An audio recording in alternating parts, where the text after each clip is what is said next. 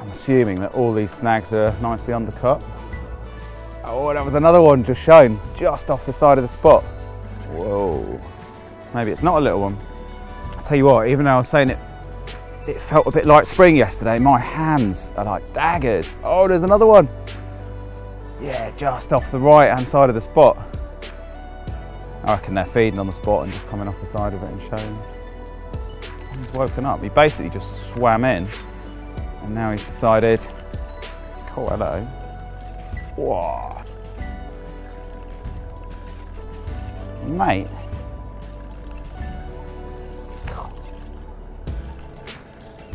I am back winding here.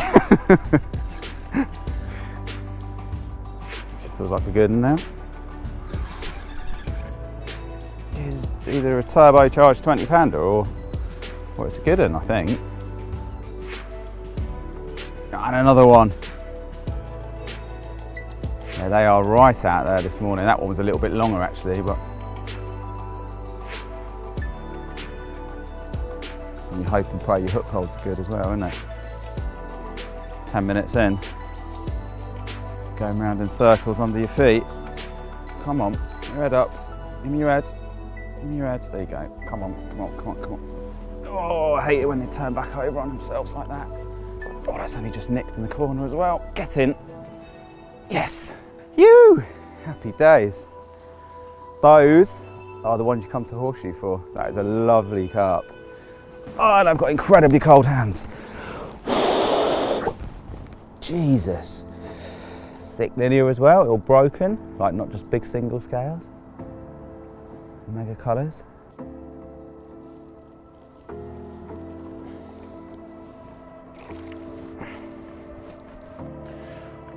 You. look at him. That's what you come to Horseshoe for, isn't it? Mega carp. Yeah, still, still all leached up. They all have been actually, the ones I've caught the last few weeks. Now's the time. well, there you go. How about that? Take that first one all day long, but uh, this is what you come, yeah, to lakes like Horseshoe for. Amazing, beautiful old scaly creature. Really, really lovely. Mega colours on him. Proper bit of character as well. Looks like it's been in there a good while. Huge old paddle on him as well, no wonder he rocked. A little bit bigger than the other one. I reckon 24, maybe 25 pounds, but yeah, whatever. You'll take ones like this all day long on, uh, yeah, on a chilly March day. Absolutely mega fish, made up with that. Oh, let's get you back, get the kettle on. Ace.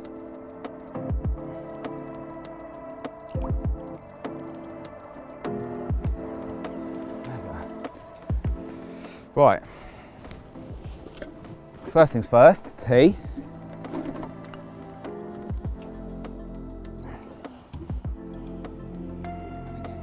Was it? Oh mate, they are out there, aren't they? This is where I wish I had a bit more Tom Maker in me. I prepped all this shit in advance.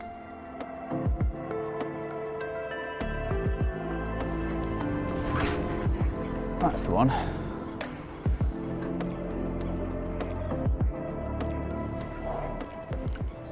always been a really big believer over the years of having a really small range of really tried and tested and trusted rigs.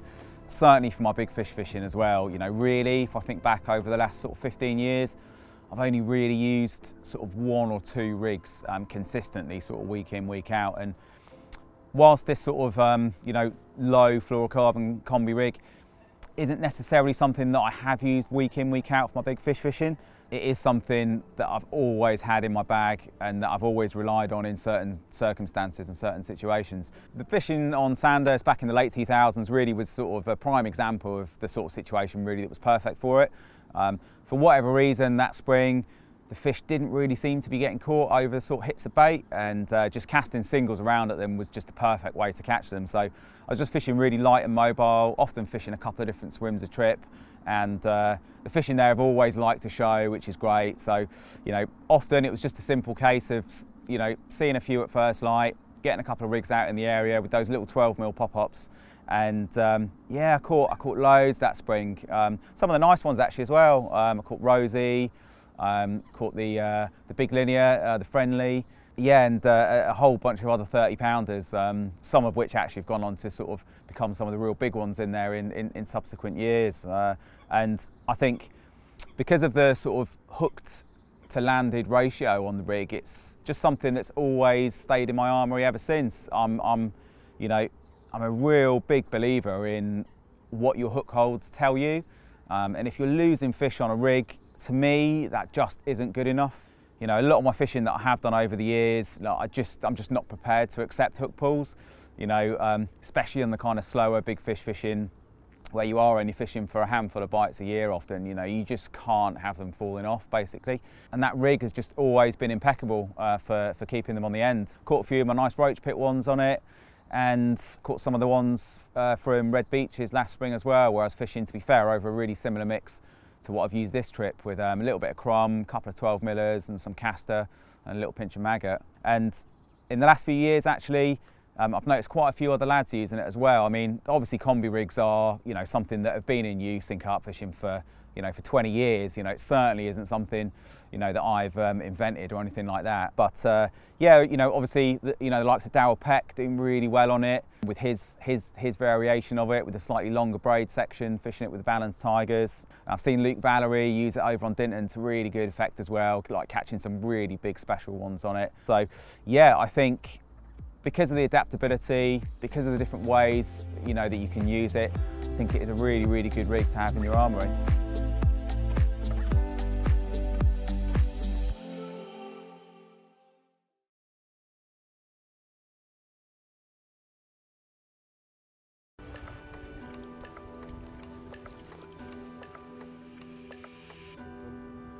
Right then, there you go, number four.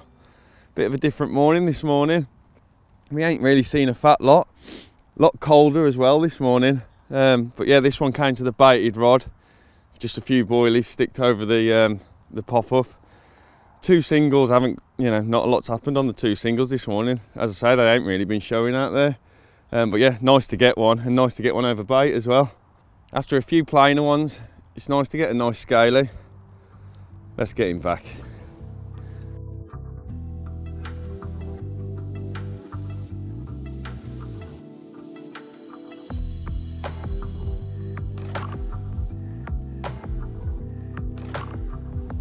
Before I get this rod out, I'm just going to quickly uh, talk to you about the rig I've been using. Um, this is what I've been catching them on.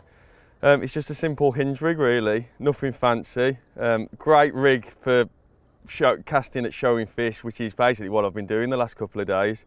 Um, you can obviously adjust the bead up the lead, fishing it helicopter style like this. Um, you know, as long as I'm getting a drop on that, nice high pop up, you know, it's presented. You can obviously adjust the bead as well, up and down the leader, depending on how dirty it is out there. I mean, I've actually been getting the bites off quite sort of choddy ground. Um, you know, bits of dead weed and that out there, a bit of silt. Um, but as I say, with that nice high pop up, relatively long boom, and the bead slid up, um, you know, as long as I'm getting a drop, an half decent drop, I'm pretty happy that's presented. Um, there's a couple of little things that I do slightly differently um, to most, I'd imagine. Um, and that's at the leader end here, I've got um, a double ring swivel. Now I tie my boom directly to that. Um, it's having the two rings eliminates the need of tying an extra ring, um, an extra loop, sorry, in the leader end of your boom, and you've got massive amounts of movement there because of the two rings on that swivel.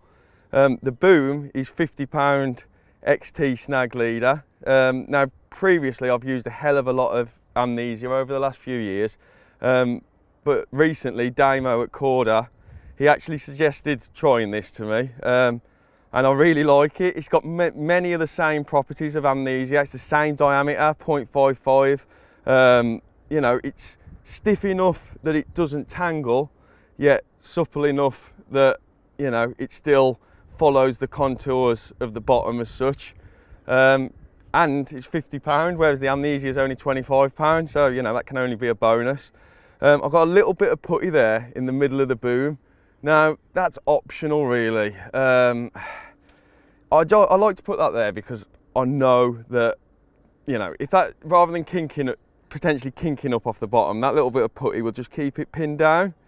Um, and then again, at the, the opposite end, the hook end of the boom, um, it's just tied directly to um, a ring swivel. I'm not sure what size they are. Um, is it size 11, is it? Whatever size, the, the, the small ring swivels anyway. Um, now, I've got one of the balancing weights on there. Um, I've actually been using a couple of different buoyancies of pop-up this trip. Same size pop-up, same um, same pop-up. It's a, a, 40 mil Ocean X um, from my mate Joe at, at Oxford Carp Baits. Um, but basically, the, the, first tub of pop-ups I was using, which I've run out of now, um, was an old tub. They've been glugging, for years, and um, they wasn't massively buoyant, so I didn't actually need any weight um, with those. The weight of the swivel was enough just to balance it out. Um, but, but this fresh tub I've started using, they haven't been glugging for so, so long and they're actually really buoyant. So yeah, little balancing weight just to uh, hold that down. Um, some 25 pound um, mouth trap, probably what, two, two and a bit inches of that. As I say, quite a high pop up really, but you know, over that dirty ground, I know that's fishing, you know, that is fishing. This time of year, there's not, the weed is out there, it's just growing, but there's not masses amount of weed. Um, so yeah, as, as I mentioned before, as long as I'm getting a drop, I'm pretty happy that's fishing. Great rig to fish as a single or over a spreader bait. And the hook is just a size 4 Kamakura choddy, super sharp, ideal hook for rigs like this, choddies, hinges, etc. Um, and yeah, that's it, simple really. Right then let's get it out.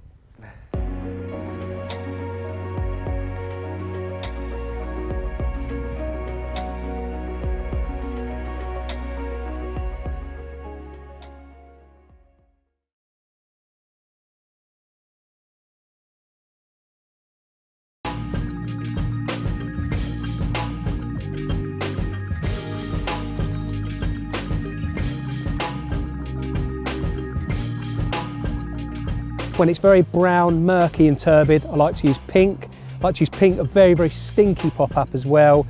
Something like a crabby, tunery, horrible sort of flavour, something that's really potent and will really stand out in that murky water. In the clearer water, I've always found like a yellow or a white to work really well. So I just like to take three colours really, pink, yellow and white, and chop and change them depending on the water clarity.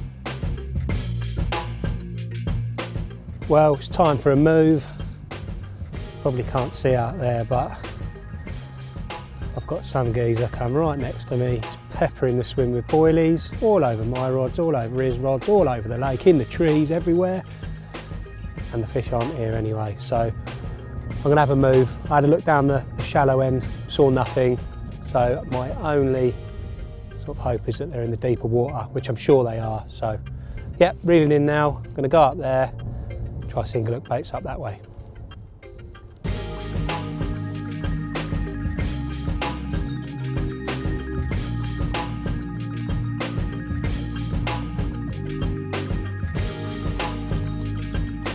Just like all fishing, and in particular single hook bait fishing, location is absolutely key.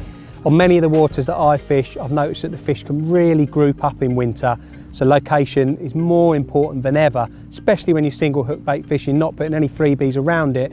You need to get that bait straight on the fish, you're always in with a chance of a bite.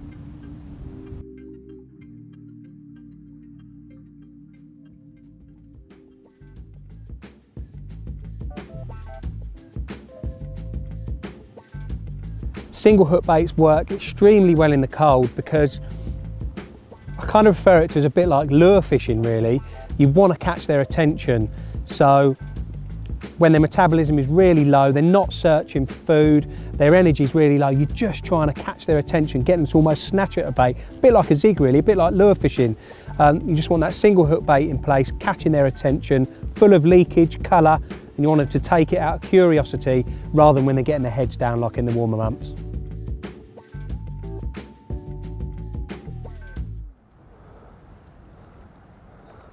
it's a small one, but they all count.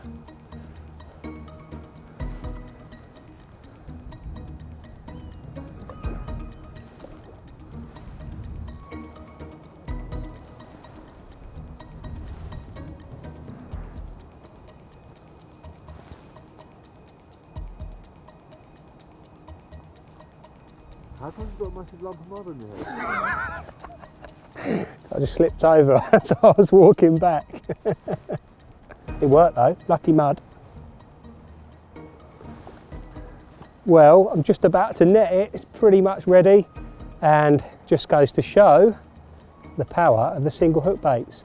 I think this one took a white one, a white northern, out to a spot which to be honest just looked like it would hold more fish. You know, there's lots of wind pushing in here. There's a bit of an outlet that you can probably hear in the background. Just look more lively here, even though I hadn't actually seen any fish. Just looks like there's more life in this part of the lake. And it seems to have worked. We haven't seen any carp today. The usual haunts haven't, haven't held any carp. So I've decided to come at this end just on a bit of a whim really. As like I said, it just looked a little bit more full of life and um, couple of liners and it rolled off.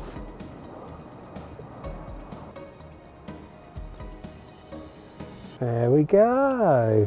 Lovely little scaly one. Tiny but it's beautiful. Look.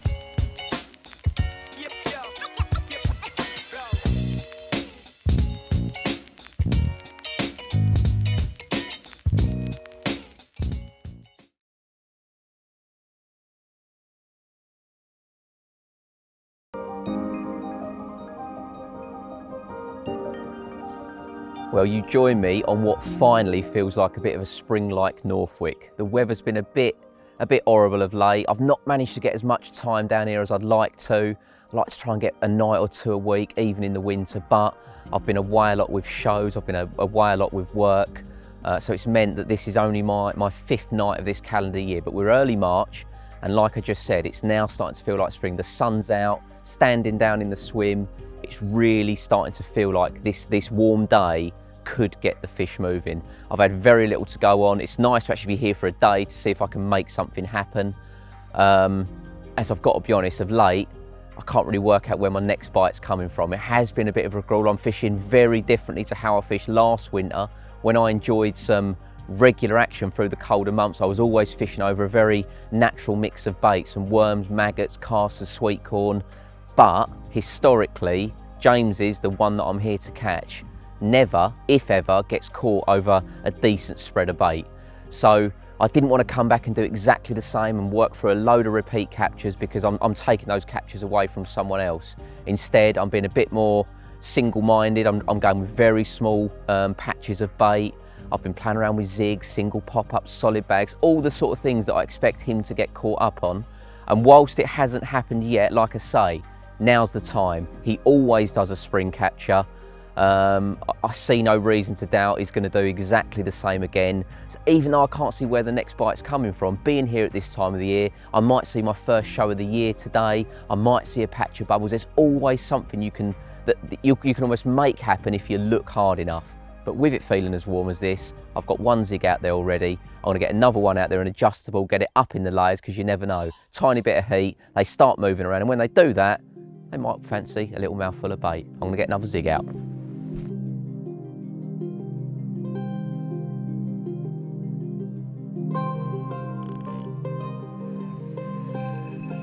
Well, I've got a couple of different options out already. The right hand rod's already on an adjustable zig.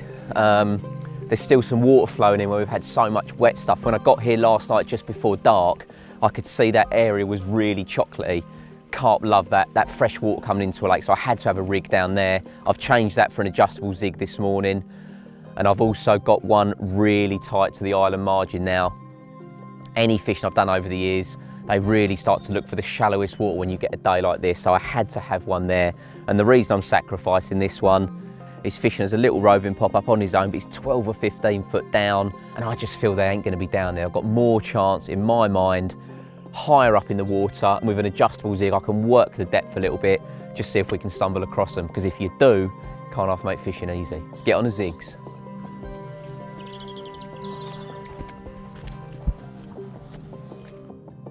The adjustable zig's been a bit of a revelation. If anything, I'm very late in coming to the party, but I am at the party now. I'm pretty sure that I sat on here last spring, this sort of time, and I was going through a bit of a bit of a grueling time and couldn't buy a bite. come May, I started playing around with adjustable zigs and literally turned the remainder of spring around for me. I missed out on a lot of bites last year. I ain't making that mistake again.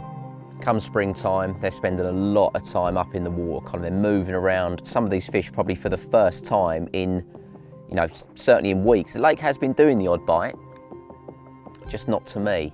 But there'll be quite a few fish that have sat, sat torpid, sat dormant for a long time. They feel the rays of that sun for the first time and they start to have a wander. Now, if my bright boilie's in front of them, oozing a bit of attraction, who's to say they're not going to fancy a snack while they're on their journey?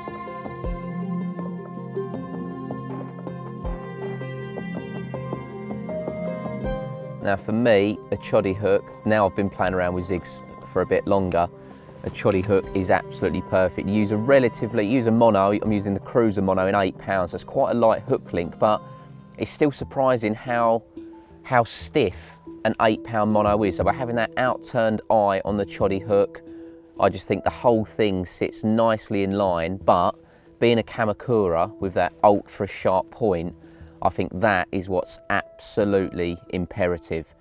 They're not pulling against a lot of resistance, they're not pulling against the lead, it's essentially a running rig that you're using. So I, I honestly believe that the sharpness of the hook is the most important part of this setup. Well, I suppose it is in most setups.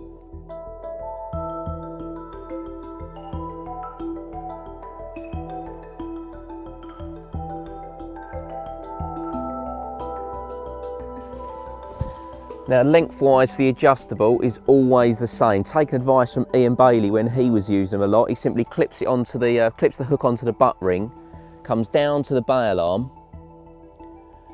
ties that off in an overhand loop, but there's a very, very important reason for doing so.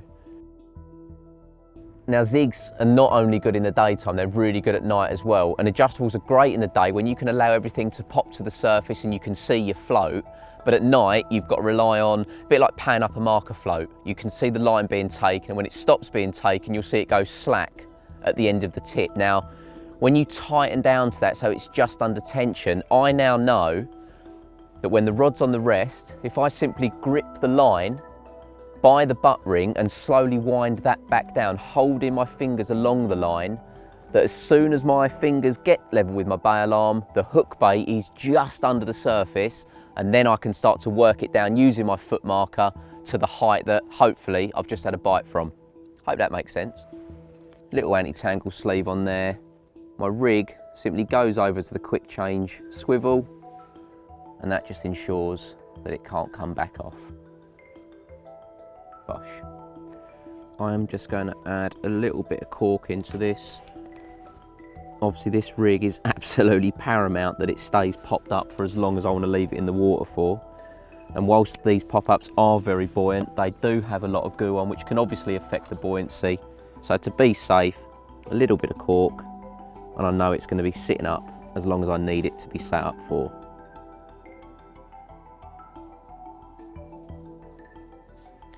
There we go, pretty much ready to go. Just one more thing before casting.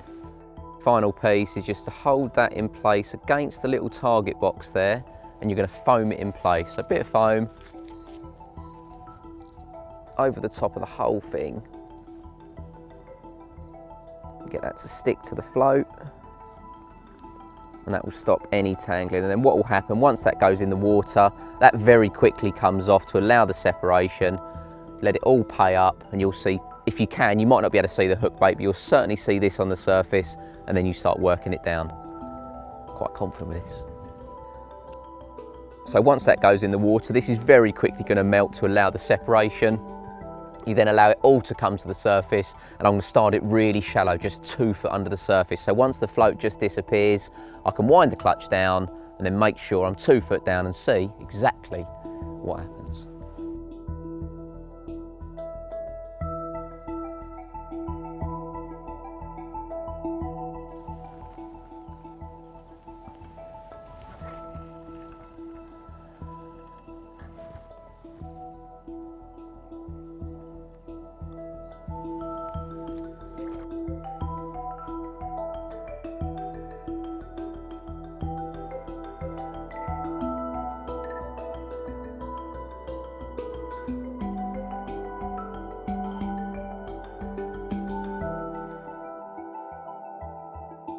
The clearest out there because I'm in the ripple, but I can see my float just on the surface. I'm just slowly tightening my clutch down and my float is now just under the surface. But like I said, because I know the exact length of my hook link, I can now grip the line by the butt ring, holding that in place, tighten all the way down.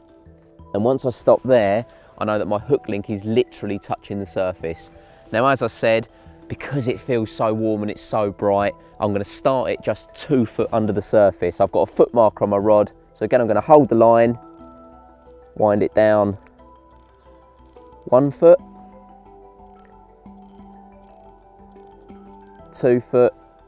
I'm gonna put it in my line clip so it cannot move. Have a real tight bobbin and any movement on that can be a bite. But what I will do is regularly be adjusting that and this one not only up and down the water column, but I'll be changing the, the area that it's in, because I'll be honest, I've actually got no idea where the carp are, but if you can find the height they're willing to feed at, if I was, you know, if I'm lucky enough to get a bite today, very quickly, both rods will be sitting at that depth, and then you start to expect another. Lucky monkey in tow, we're on to a winner, hopefully.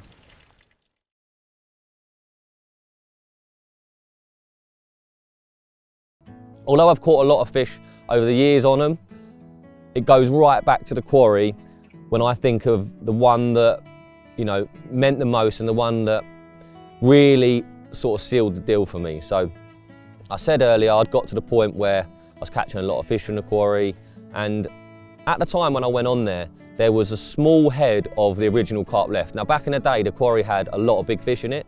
When I went on there, it had a good head of big fish in it, but not the numbers it used to. I think at one point there was like 40, 30s or something silly like that. There was a lot of big carp in there, a few 40 pounders. When I went on there, the lake was kind of in a bit of a decline. I pulled off, it became dated, getting a lot of the fish sort of put the weight back on and came back through the ranks, got back to a bit of their former glory. But when I went on there, there were sort of 10 carp or so that I wanted to catch. And I went on there in February and I had until May. So I had, I bought a ticket off my friend He'd finished on there, he didn't want to fish it anymore. So I'd talked to the owner, and I said, look, can I buy his ticket? Can I have the last three months of his ticket? And he said, yes. So I bought the last three months of my mate's ticket and it gave me from the end of Feb, middle of Feb, something like that, until the end of April to catch all the carp that I wanted to catch out of there. And as we neared the end of the season, I'd caught a lot of the fish on my list. Two fish that I hadn't caught, so just so happened to be the two biggest ones in the lake. They hadn't been caught that year at that point, I don't think. In fact, no, they definitely hadn't. Um, the pucker common and shoulders, that was the two. So the big mirror and the big common. Pucker common was known for being a carp that doesn't get caught a lot. Now, the quarry fish at times could be quite friendly. You know, they weren't shy of a capture. They didn't, caught, they didn't get caught loads, but you know, they'd get caught a few times throughout the year, whereas the pucker was always seen as one of the harder ones to catch. Might only come out once or twice. And it was in April. I'd got to the point where I was fishing, I'd run out of hook baits, and what I was doing was reusing them. So I was, I'd catch a fish or I'd reel a rod in, and rather than just whip the hook bait off and chuck it in the edge like I normally would, I was saving them. They're going back in the pot. And the reason I was doing that is because the little sequence I've just showed you about how I prep them, it takes a little while to get them to that stage. So I'm thinking, right, I've only got a little while left on my ticket. If I want to get these hook bait, if I want to turn back up the lake with hook baits that are ready to go, it's going to take me a little while. What's the quick fix? Reuse them. So I had a pot, I had a little bit of goo in it, and I would use the hook baits, drop them back in the tub, and I ended up catching the pucker common. But when I caught it, I was in a swim called the Pipes, which fished long to the island. So I was fishing 114 yards, I think it was. It was like max range with a fluorocarbon I had on. I was naked chod fishing. And I was in the swim one day, it was getting dark, and I'm sitting out looking at the water, I'm watching the island, because I'm always watching for the shows, that was how my fishing was on there, see a carp show, cast to it. And off the side of the island, about 30 yards off the side, something like that, over slightly deeper water, I saw a big fish come out of the water. I see it come out, you know, good half its body, and by the size of it, by the colour of it, I didn't know it was the Pucker Common. I knew it was an original and I knew it was big. So in my mind, I'm thinking, you know, it could be that. It was a full moon at the time and I've cranked a rod in.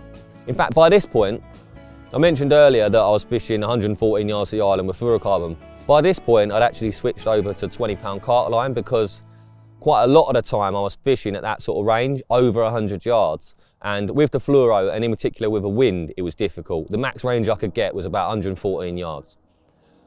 So the mono made it much easier, and although it was 20 pound mono, it still cast better than the fluoro. So I was actually spooled up with that at the time. And I see this fish show out to the right hand side of the island, a bit further than the island, and obviously on the angle as well, say 30, 40 yards off.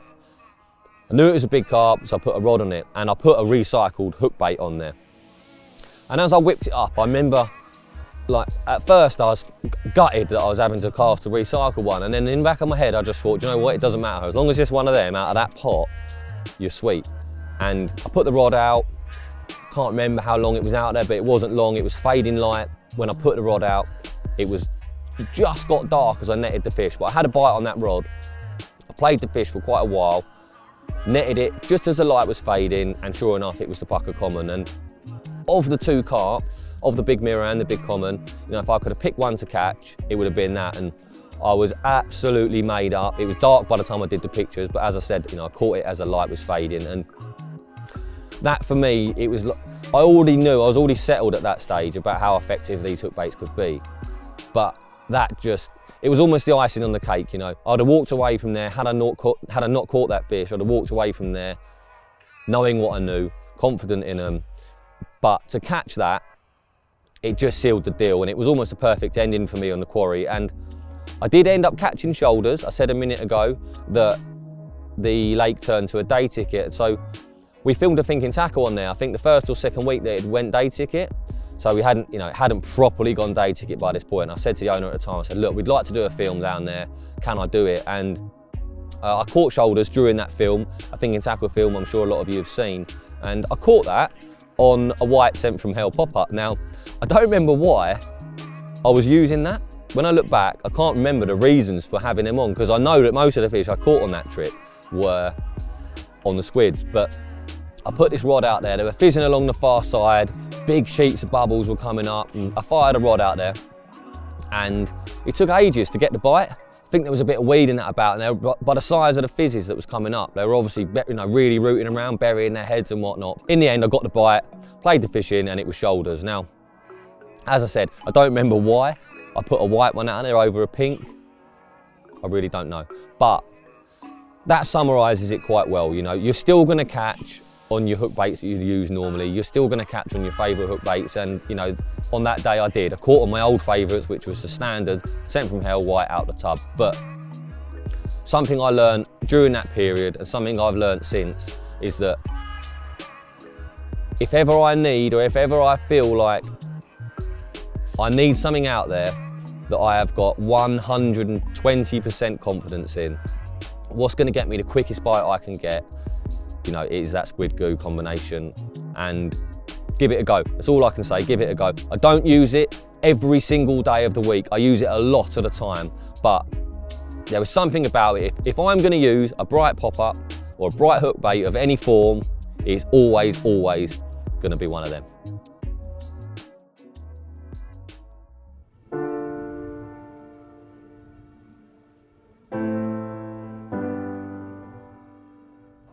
Well done. That's an awesome fish. Just get her head down in the water. Let, she's a very old lady, isn't she? We've got to let her get her breath back a bit before we let her go. That is a belter. A little bit easier to talk now. She's Yeah, being you've held got up. some of the weight supported. Yeah. you did a good job there. That's a cracking fish. So happy, I really am. Yeah. So how old do you think it is? 40, Yeah, 40 plus years it's over old. 40 years old. I mean, Yeah. look at it. You It's know, a proper old fish, isn't it? look at it. Uh, well done. Incredible, incredible. Well, you started your spring on here. You had the big common, Yeah. and now you've had the big Yeah, mirror. I so yeah. Completed what my a good set. timing. Good, good timing indeed. Can't believe it. Oh, time for you to get your rods out, mate, and uh, yeah. time for you start catching a few. I. I should stop gillying for you. well done. Should we let her go? I reckon.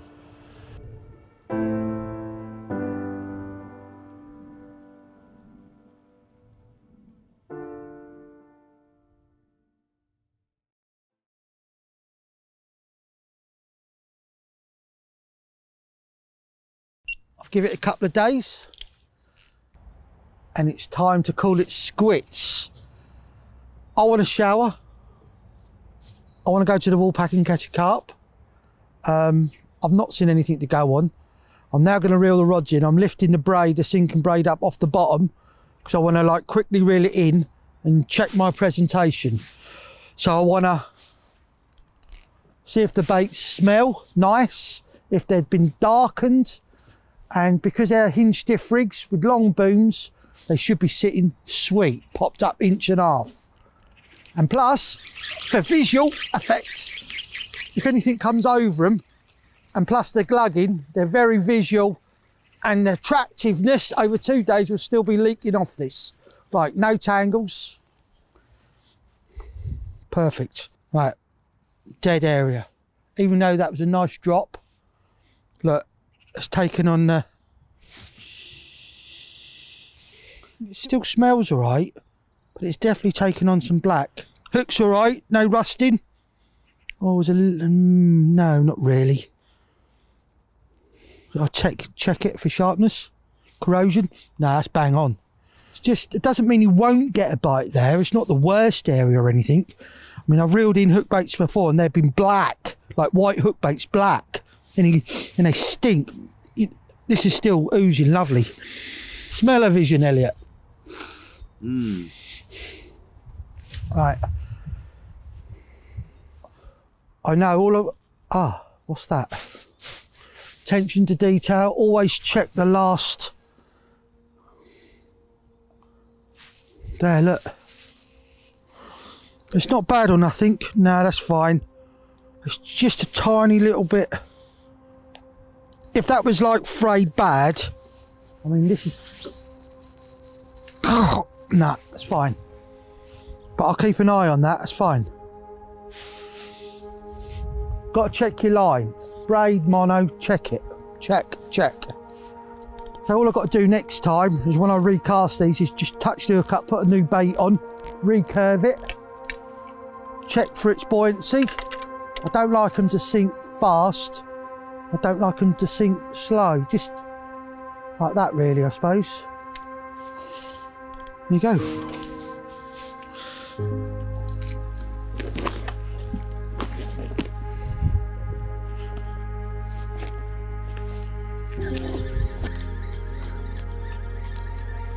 That's long range for me. I didn't know I could still cast that far.